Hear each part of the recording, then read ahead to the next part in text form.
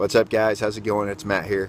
So, uh, range day. That's right. So this is the uh, first time I've been able to come out to the range since uh, I put my uh, steel guide rod in my Sig Sauer P250. So I'm going to test it out, make sure it's working. So uh, if it's back up and running again, then I'll be able to start carrying it again. If not, then I'll have to either take it to a smith or uh, get a new mag and we'll see from there. But I'm hoping it works out.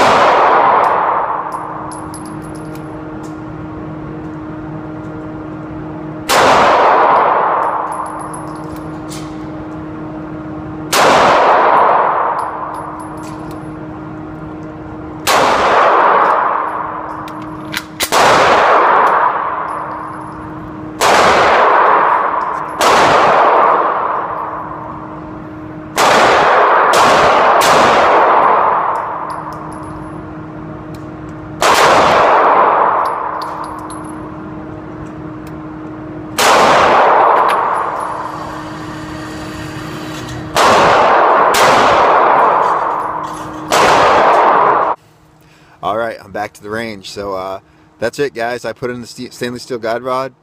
Sig Sauer P250 is back up, running like a charm. Though it's my favorite carry gun, and now I can carry it again. So I put a uh, 50 round through it. Not a single bobble. It was just standard Remington 115 grain UMC, guys. And you know what? Not a single bobble. Loved it. So it was right on par where I wanted to put the rounds. It went.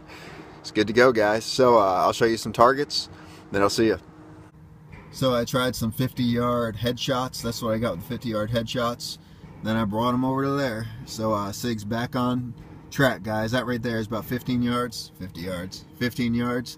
Still good to go. Actually, I got a couple on there when I realized it was sitting over here. Then I uh, shifted my aiming point. Got it right where I needed it to be. So good to go, guys. All right, guys. So one other thing I wanted to bring up here. So I live in the state of Connecticut, right?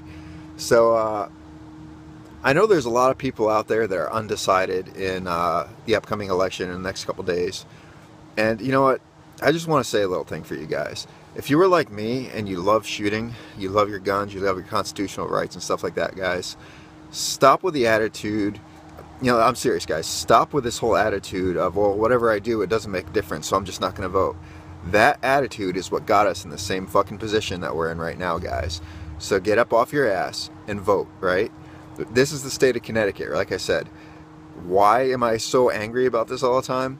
Because this the administration basically screwed us over, completely screwed us over with a SB 1070 when it comes to our Second Amendment rights. So the only weapons we're allowed to have are bolt action rifles or mini 14s because mini 14s don't look scary like AR 15s.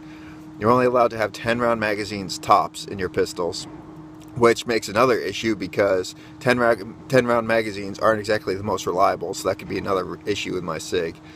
And on top of that, guys, you know, if you pride yourself in saying the pledge, if you pride, pride yourself in being American, guys, it is your freaking duty to get up off your ass, get out of your basement, get off the damn couch, and go to the polls, register to vote, and vote.